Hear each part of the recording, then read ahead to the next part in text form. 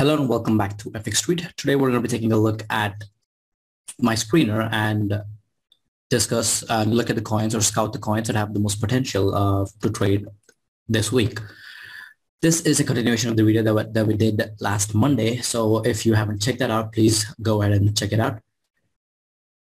So before we actually get into the uh, the changes that I made to the screener, I want to direct your attention to the FX YouTube channel. If you enjoyed the content that we put out, please make sure to head on over to YouTube channel and hit the subscribe button.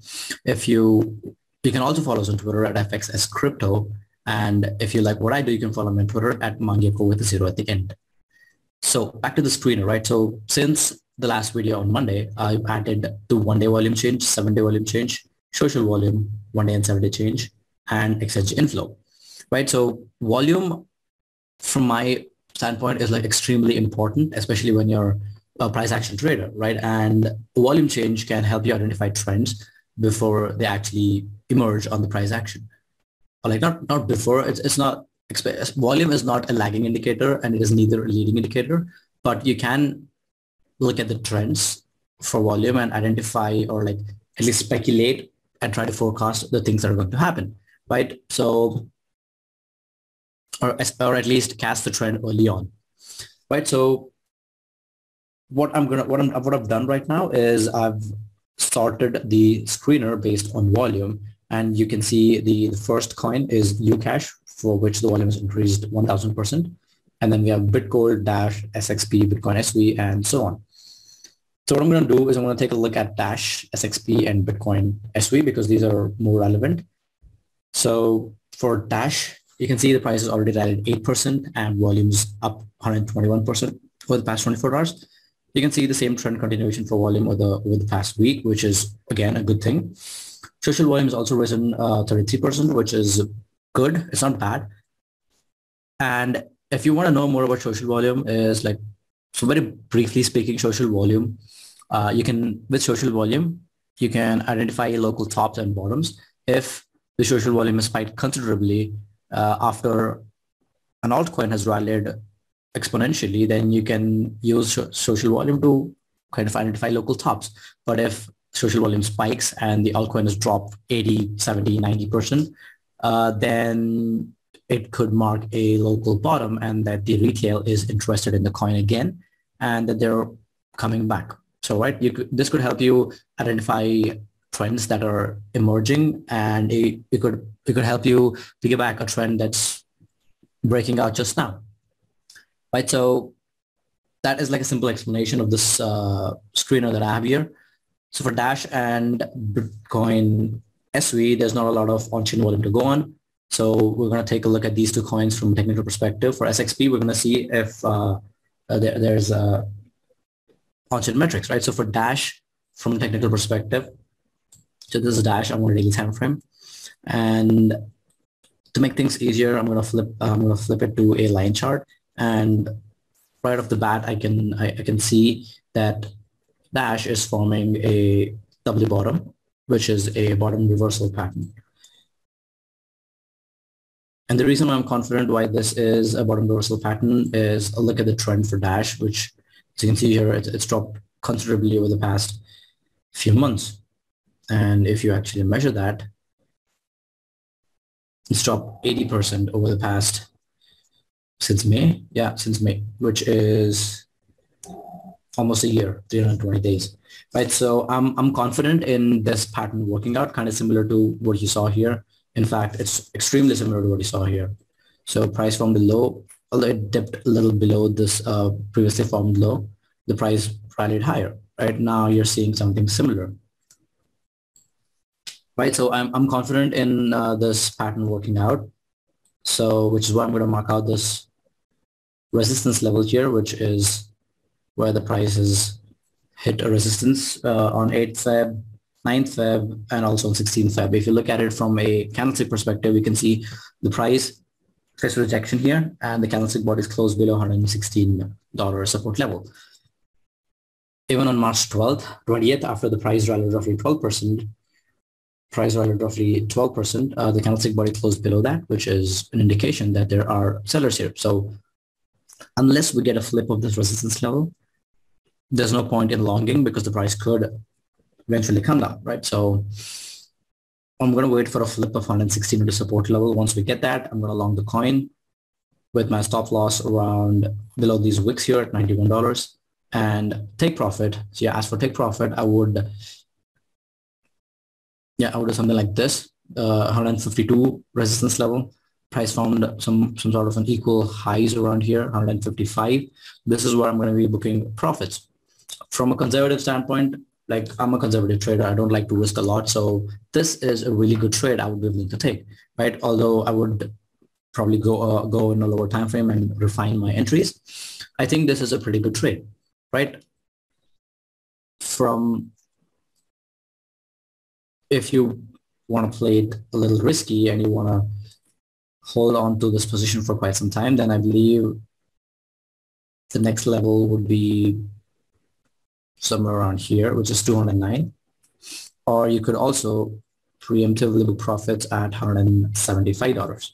Right, so actually, you know what, forget this. This is a good level to take profits. These are the two good levels to take profits. Once we get a flip of 116 resistance level into a support level, you could long the coin and book profits at 155 and $175, which would give you a 1.59 and a 2.36 power trade anywhere from a 33% to 50% upswing on the horizon for Dash. So that pretty much concludes uh, Dash and why you should probably add it to your list and keep an eye on it and see how it reacts around this resistance level 116. Right, so moving on, we have, we're done with Dash. Now let's take a look at Bitcoin SV. So let me start fresh a lot of altcoins have this massive downtrend with like no seemingly no uptrend in sight, right? And a lot of altcoins now are, are breaking out, and that's exactly what I see here for Bitcoin SV, right? After roughly 128 days downtrend or roughly four months downtrend, the price has finally breached this uh, resistance level, and now it's moving higher, right? So it's time to head on into a lower time frame and refine our entries. Right, so as you can see here, price formed equal lows around here. So there is liquidity resting below this. I'm not saying the price is going to come down and collect liquidity, but it is something that you should have it in the back of your mind. So if the price ever does come down there, I'm not saying it will, but if it does come down here, uh, you are going to be ready and not be panicking so yeah. So what I'm going to do is I'm going to use my fib extensions to draw fib ranging from $76 to the swing high here at 87.93. And I would be looking to enter long positions at any of these three levels here at $79, $80, and $81. So these are the levels where I would be entering long. So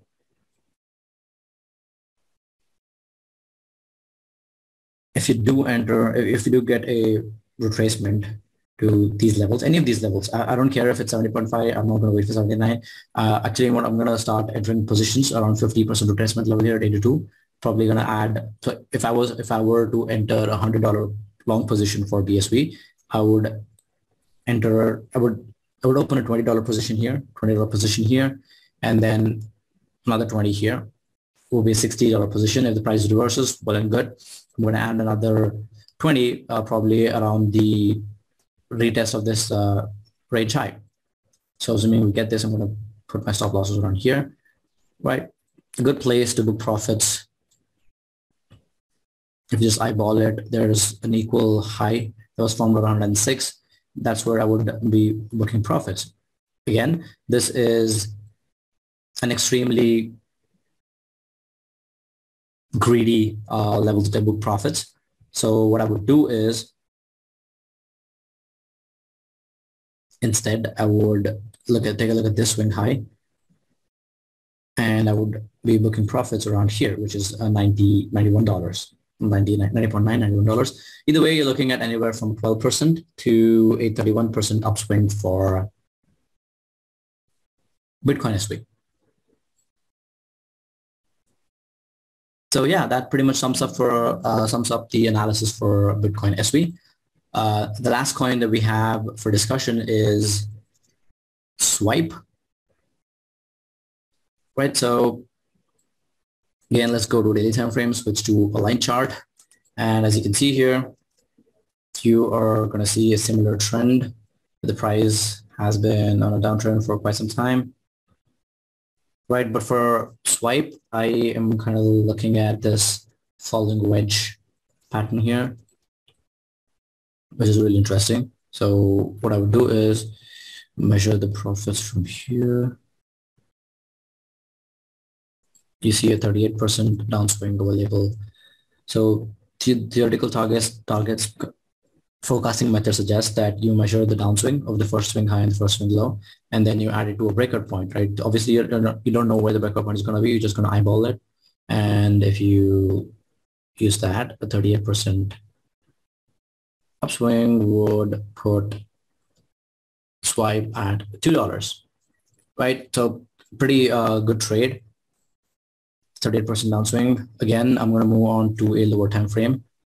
Take a look at this last particular swing here. I'm going to use my fib extensions. Right, uh, I'm not going to use uh, the swing high because it's kind of like an anomaly. So I'm going to use uh, $1.5 where a lot of cluster of wicks were formed. Right, so with that in mind, I'm gonna I'm expecting the price to head down to any of these three levels here at $1.25, $1.28, and $1.31.